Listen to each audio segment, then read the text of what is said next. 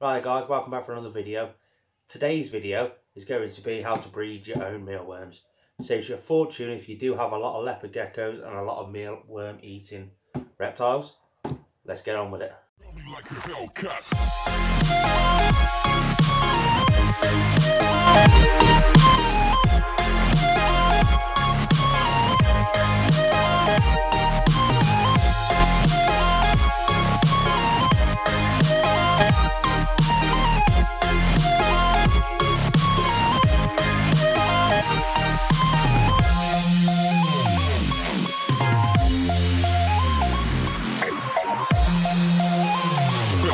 So then guys, let's get straight into it.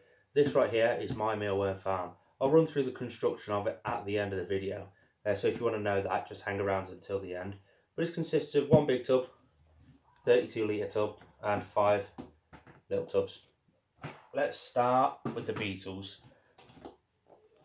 So, beetles are in these little tubs. I've got a couple of tubs. These two are both beetles. And if you have a look at the bottom of the tubs, first off, mesh lined. It's just all full of mesh. Big hole cut out the bottom and we hot glued and some mesh in the bottom. And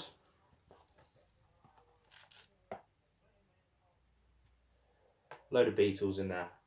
There's more in the other one, but that's that. So the story goes, they lay all their eggs in their substrate, which is just wheat. One pound a bag from Tesco's, just wheat. They lay their eggs in that substrate. They also use that substrate as food. Uh, so you don't want to put too thick of a layer in there, otherwise they'll just start eating their own eggs.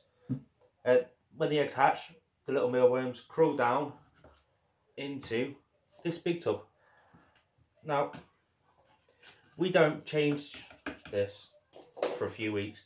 We just wait until we start seeing the oats in the bottom of here moving. If we can see the oats moving, we know there's a load of live ones in there. We'll leave it two or three more days then we'll empty all of this out into just a normal little tub and let it raise up. Feed them, water them, do everything, just let them raise up. Now, we keep them in different sizes, obviously. On the side of the box, this one is the small mealworms. So this was the first batch that we've had. Well,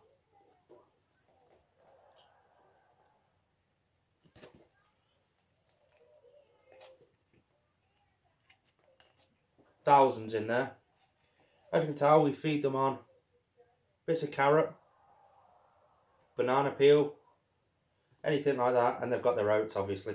Now we just raise them up until they get to the next size, which are the normal feeder ones. So the ones we feed off to all of our animals. Again,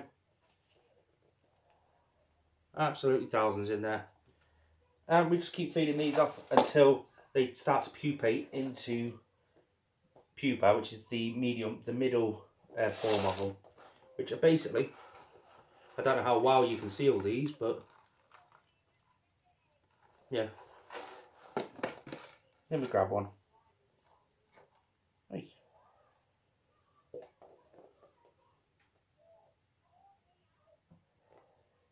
Anyway, they look like little aliens. I'll show you a close-up of that at the end. as soon as we see one of these pupa in with the bigger mealworms, we'll remove it, stick them all in a pot together just like that. And as and when they hatch into beetles, we then move them into the beetle pot. So we've always got a constant flow of fresh beetles, fresh eggs, and the cycle continues. So within mealworm breeding, there's three different air forms. So you've got your beetles, your pupa, and your mealworms. Your mealworms, they turn into the pupa as and when they're adulthood.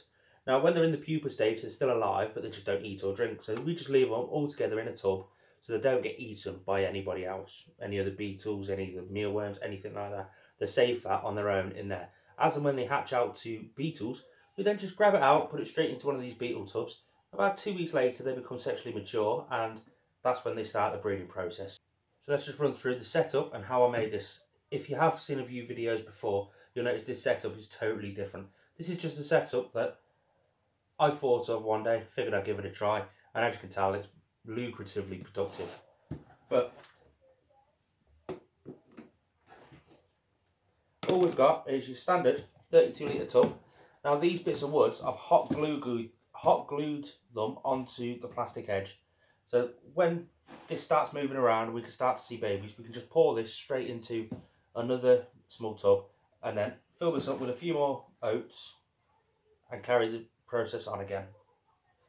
These bits of wood are just an old picture frame we had kicking around and they are spaced perfectly to fit the boxes on like that so that all your eggs and stuff all do fall through.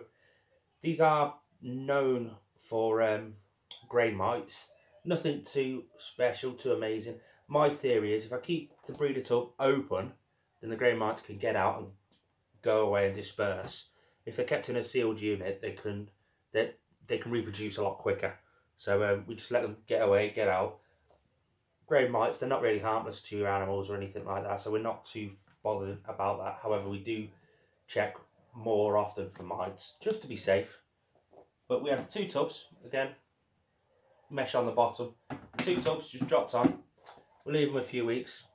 We feed everything that we have, we feed with um, carrot. As a treat, we'll whack banana skin in there, or if we do have new fresh mealworms, we'll whack a banana in because they're just higher in uh, potassium and there we go, higher in potassium and moisture. You do not give them a drink because you start getting a lot of mold issues. So um, they live off the moisture that's inside the fruit and vegetables that you give them. There's the pupa. And now that just, we have these two tubs just sat on the top there. And then this one just sat there. This all lives on top of our um, boa constrictors vivarium right over the bulb on the hot side. So there's heat running all the way through this just to help it out a little bit more. Things tend to work a bit quicker when there's a little bit more extra heat. And it's a constant temperature there. That heat ball is always at a constant temperature. So there's no temperature fluctuations or anything to uh, interfere with it. it. doesn't get hotter and colder throughout the day and night. We just leave it like that. How I am soon to be, um, I'm going to try one of these tubs covered in black tape. See whether the darker side produces more than the lighter side. I like to run my own tests like that. But yeah, there we go guys. That is my mealworm breeding farm. It works for me. It's the only way I've tried. It's the only way I've thought of. If you have learnt anything, if you have enjoyed the video, just hit the thumbs up, like, subscribe, hit the notification bell. I'll stick some pictures up now of the mealworm in a few different forms. Thanks for watching.